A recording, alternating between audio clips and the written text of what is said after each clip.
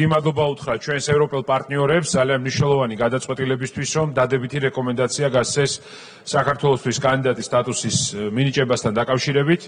იმედი მაქვს, რომ 14-15 დეკემბერს საბოლოო კონსენსუსი იქნება 27 ქვეყანას შორის და ერთ ნაბიჯს გადავდგავთ ევროკავშირისკენ.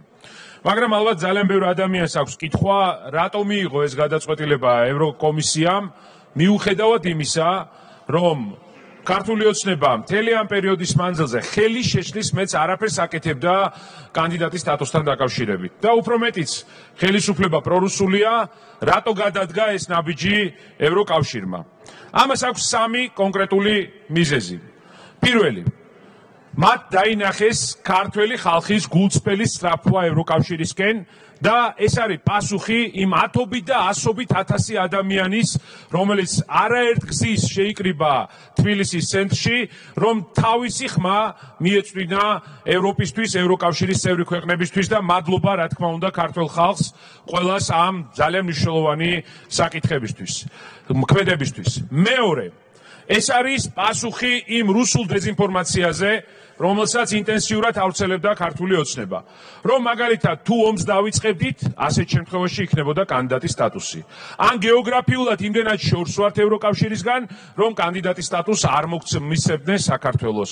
ან რომ კანდიდატის სტატუსი არის სათაგური და ეს არის განცხადებები ქართული ოცნების ლიდერების, ან რომ კანდიდატის სტატუსს ფასი არ აქვს, ჩალის ფასი აქვს, დაიტოვონ თავისთვის ამ ყველაფერზე საპასუხოდ ევროკავშირმა გადადგა ძალიან ბძნული ნაბიჯი, რომლითაც ძალიან კაფიო თქვა, რომ ვისაც დემოკრატია უნდა, მათი ადგილი ევროკავშირშია. და მესამე, ეს არის უზარმაზარი გეოპოლიტიკური ნაბიჯი, რომ ყველა ქვეყანას გზავნილს უგზავნის ევროკავშირი. თუ თქვენ გინდა დემოკრატია, თუ თქვენ გინდათ განვითარება, კონდეთ ევროკავშირის იმედი. მეგობრებო, უპრეცედენტო გადაწყვეტილება მიიღო ევროკავშირმა.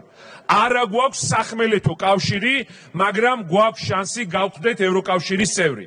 ეს არის მართლაც უპრეცედენტო გადაწყვეტილება საქართველოსთან მიმართებაში და კიდევ ერთხელ დიდი მადლობა მათ და ეხა მთავარია რომ ჩვენ გავიაზროთ.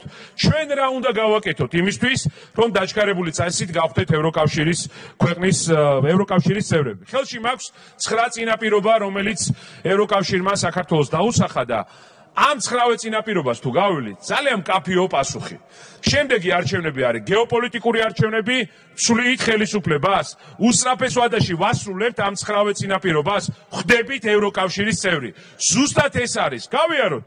პირველი ებრძოლეთ დეзинფორმაციას. ვის დეзинფორმაციას უნდა ვებრძოლოთ? დეзинფორმაციას, რომელსაც ქართული ოცნება ავრცელებს. მეორე, მოიყვანეთ შესაბამისობაში საგარეო და უსაფრთხოების პოლიტიკა ევროკავშირთან.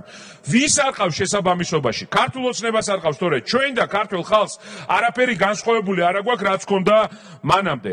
მესამე, პოლარიზაცია პოლარიზაცია დასრულდება როგორც კი ხელისუფლებაში იქნება საქმისკეთებელი პოლიტიკური ძალა ვინც ხალხს ეიზრუნებს და არა საკუთარ ჯიბეზე.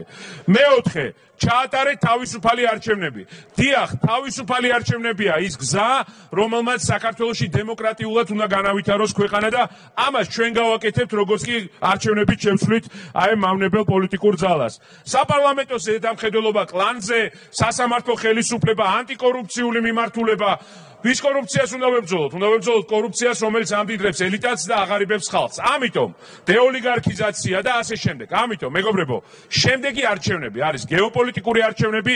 ვიმარჯვებთ ამ არჩევნებში, უმოკლეს ვადაში ვასრულებთ 9 წინაპირობას და დავით მათიკაშვილი, მარია ბითაძე. მოგესალმებით ბატონ თავმჯდომარე, მივესალმები კოლეგებს. პირველ რიგში მინდა ვთქვა, რომ რაც მეც უსმენ ჩვენს ოპონენტ